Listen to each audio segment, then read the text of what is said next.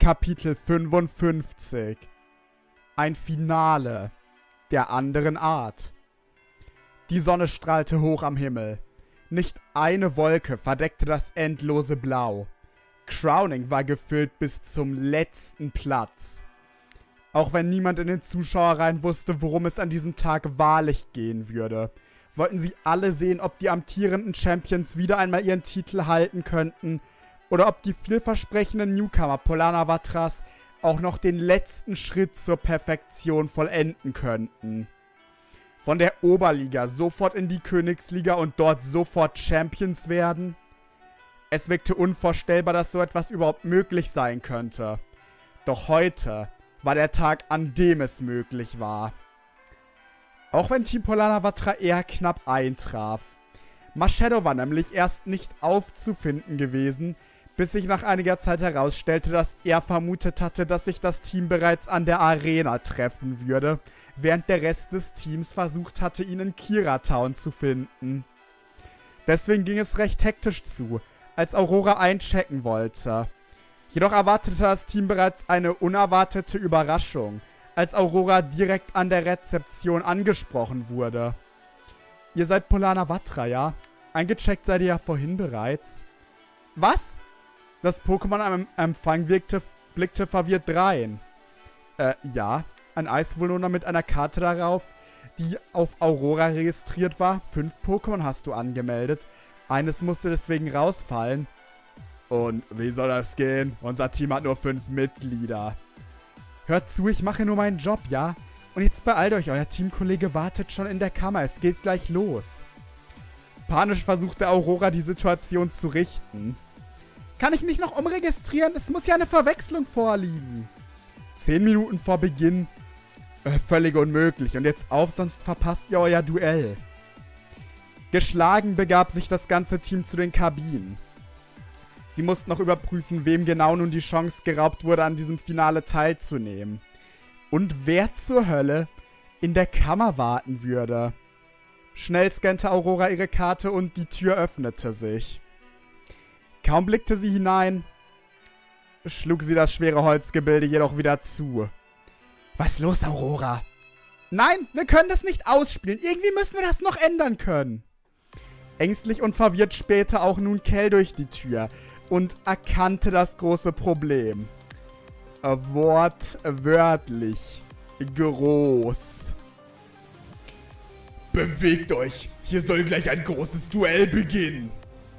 Endynalos, verpiss dich sofort aus unserer Kabine, sonst bekommst du Probleme mit uns.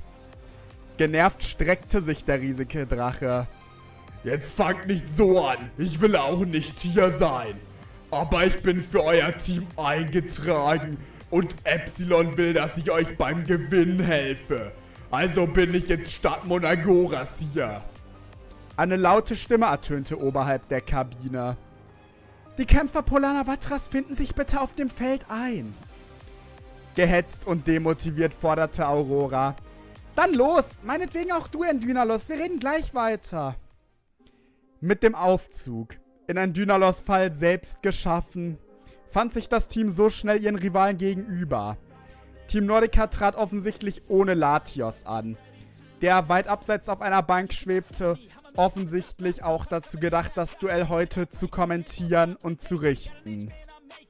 Beim Auftritt Polana Vatras warf Elementare einen verächtlichen Blick auf das Team. Habt ihr euch gestern nicht wegen Darkrai beschwert? Und heute taucht hier mit Endynalos auf, als wäre es nichts? Soll das irgendein dummer Rachefeldzug werden?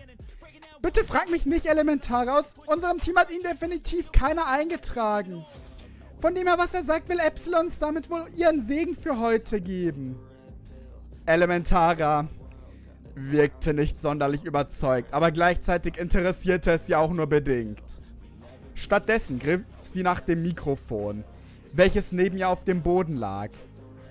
Also dann, meine lieben Mitkämpfer und Mit-Pokémon. Der große Tag ist wieder einmal gekommen. Das Champion-Duell.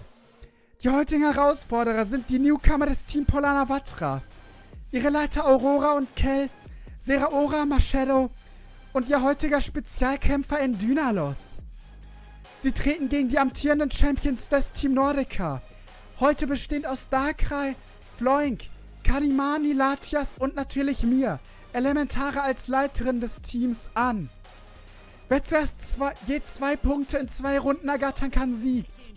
Mögen die Besseren gewinnen. Nachdem sie das Mikrofon ausgeschaltet hatte, wandte sie sich noch einmal an Aurora. Und das werden wir sein. Team, macht euch bereit, es geht los.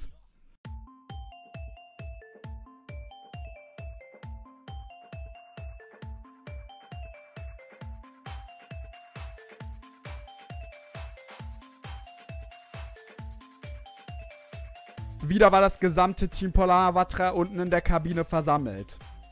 Jedoch waren sie noch nicht ganz für den Kampf bereit. Vorher gab es noch Wichtiges zu bereden. Mit ihrem neuesten Teammitglied.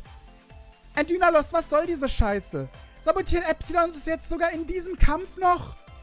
Sabotieren? Wodurch werdet ihr denn sabotiert? Dadurch, dass ihr einen der stärksten Ringkämpfer der Welt in eurem Team habt. Kel wirkte nicht sonderlich von dieser Arroganz überzeugt. Einer der stärksten Ringkämpfer der Welt. Du hast ja so viel Erfahrung nicht. Brauche ich die? Versuche einmal mich im Ring zu verschieben, Akani. Das Argument war simpel und doch effektiv. Und er hatte schon recht. Wie genau besiegte man ein Pokémon wie Endynalos im Ringkampf, das zu schwer war, als dass man ihn verschieben könnte? Und weshalb sollte Epsilons helfen wollen? Diese Antwort übernahm Endynalos nicht einmal selbst, sondern Epsilons ehemaliger Untergebener. Ich habe es dir bei den ersten Erzählungen über die Plot-Armor erklärt, Aurora. Epsilon liegt etwas daran, dass du sie gewinnst. Denn nur so kann ein wahres Finale entstehen. Alles nach den Vorstellungen des Plots. Ach, aber sonst versucht sie uns ganz ohne Kampf umzubringen. Ich hoffe, das muss ich nicht verstehen, aber nun gut, wer fängt an? Polana Vatra gegen Nordica. Runde 1. Zwei Siege in einem Match entsprachen einem Punkt. Zwei Punkte waren der Sieg. Es war dasselbe Format, in welchem Auroras Team bereits Team Slash in der Relegation begegnet war. Und auch ein identisches Ergebnis wünschte sich Aurora. Aber sie wusste genauso wie ihr Team, dass dies wohl nichts werden würde. Marcello stand als erster im Feld, im Duell gegen Floink. Nun war Team Polana Vatras Leiterin wirklich gespannt. Oft hatte sie von den berüchtigsten Erstentwicklungen der Liga gehört. Doch nun würde sie endlich sehen, wie ein scheinbar schwaches Pokémon wie Kanimani oder Floink es auf das Level der Champions bringen konnte. Der Kampf begann schnell, aber extrem und vor allem völlig unerwartet. Kaum erklang das Startsignal, schien Floink sich sofort zu verändern. Dunkler Rauch umgab ihn, sein Orange wandelte sich zu Rot. Und als wäre der Fiebertraum nicht schon real genug, begann er auf einmal zu schweben. Auch auf dem Feld selber, bei Marshadow, herrschte Verwirrung bis Floink auf einmal hinter ihm stand und finstere Flammen abließ. Was zur Hölle, das macht keinen Sinn. Sinn schränkt im Kampf nur unnötig ein. Also los, kämpf! Gerade erhob Marshadow sich wieder. Da musste er bereits einer Flammsäule aus dem Weg springen, die aus dem Boden geschossen kam. Und das nicht nur an einer Stelle im Ring. Irgendwie musste Marshadow es schaffen, selber in die Offensive zu gelangen. Und was war dafür besser als Defensive? Sofort verschwand er in den Schatten, um am anderen Ende des Ringes wieder zu erscheinen. Ohne zu zögern feuerte er sofort eine Aurasphäre ab. Jedoch erblickte er direkt nach dem Abschuss seinen Gegner bereits nirgendwo mehr. Falsche Richtung, Kumpel.